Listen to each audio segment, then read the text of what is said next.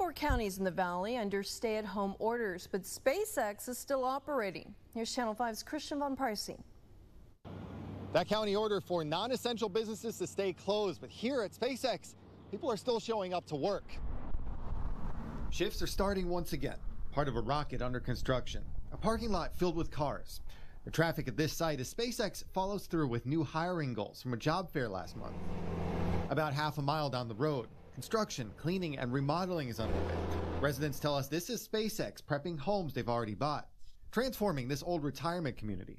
And those residents. I mean, I've, I've had upper respiratory issues. Cheryl Stevens sheltering at her home. If the coronavirus uh, hits me along with the asthma, I know I doubt that I'd even make it. Celia Garcia stepping out just to talk to us by phone as activities in this neighborhood and site keep up. I mean, definitely they have not curtailed their activity at all. Last week, Cameron County ordered a shelter in place, closing businesses, sending people home.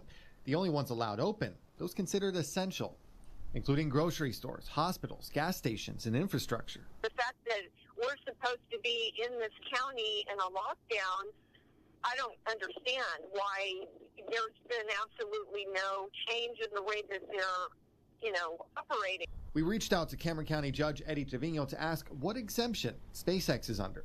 We didn't hear back. Meanwhile, the county reporting at least 20 coronavirus cases so far. Then they go home and they contaminate their children and they contaminate their wives. We reached out to SpaceX with the same questions as the judge and about any precautions. Also asking them about this photo a Boca Chica resident shared with us, saying SpaceX was screening new employees nine days ago while the county was on a recommended lockdown.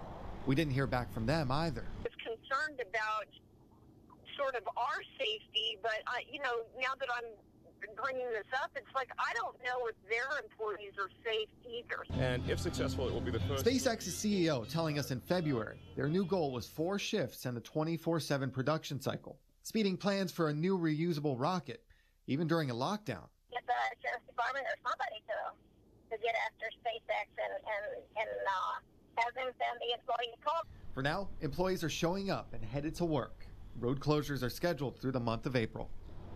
And work continues here with more testing and construction operations planned. They're planning to close the road again on Wednesday from 9 a.m. to midnight. In Boca Chica, Christian Von Preysing, Channel 5 News.